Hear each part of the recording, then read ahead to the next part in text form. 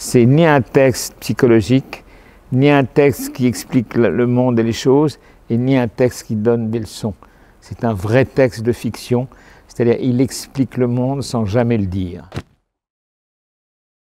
Donc Cadoc, c'est une pièce de Rémi de Vos qui est euh, ce qu'on appelle une pièce inspirée. C'est-à-dire c'est absolument pas une pièce didactique, c'est une pièce qui est une pièce de pensée, de coq à l'âne, et qui raconte d'une manière extrêmement savoureuse, vue de l'intérieur, le monde de l'entreprise. Tu te crois où? Au boulot?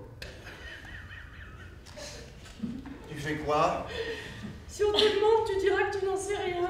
À travers euh, son directeur, la femme du directeur, les petites euh, euh, anicroches qu'il y a entre les employés, etc. Mais très vite, on comprend est ce que vend l'entreprise et les problèmes économiques, ça n'ont aucune importance par rapport à leurs problèmes d'ego. Il veut voir si je vais m'aplatir comme une crêpe. Eh bien, je ne vais pas m'aplatir comme une crêpe.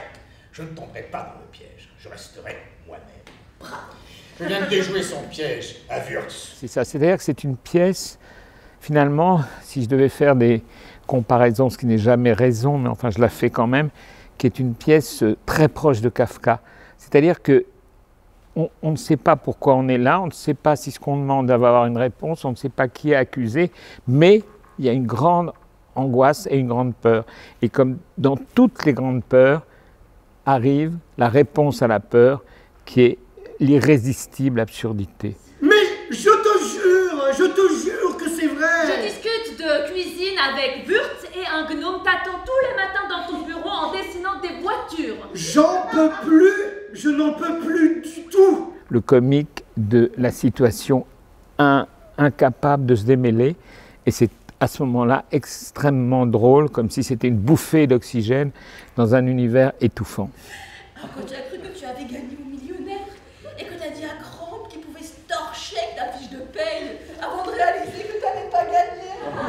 Pour écrire moi-même des pièces, je sais absolument l'erreur qu'il ne faut pas faire quand on les monte, c'est faire une faute de distribution. Et là, six acteurs tout à fait étonnants, extraordinairement euh, bizarres et en même temps très très drôles, incarnent les six personnages euh, de Rémi DeVos. Je vais faire un risotto. Oh, oh c'est une merveilleuse preuve d'amour de ta part. Je mettrai tout mon amour. C'est vrai, tout ton amour? Bah oui, bien sûr. Tout ton véritable amour? Tout mon véritable amour, du cœur d'amour. Là encore, comme euh, pour les acteurs, il ne faut pas se tromper des gens qui vous accompagnent euh, pour créer les costumes et les décors. Les décors ont été créés par Sophie Pérez. C'est un décor qui met la pièce à l'endroit où elle doit être et qui surtout ne l'illustre pas, mais je dirais la transcende. Les costumes de Juliette Chano, avec qui je travaille depuis des années, sont des costumes qui sont à la fois porteurs de la réalité des personnages qui sont incarnés dans l'entreprise, mais qui en même temps les suit dans le décalage de leur euh, vie quotidienne.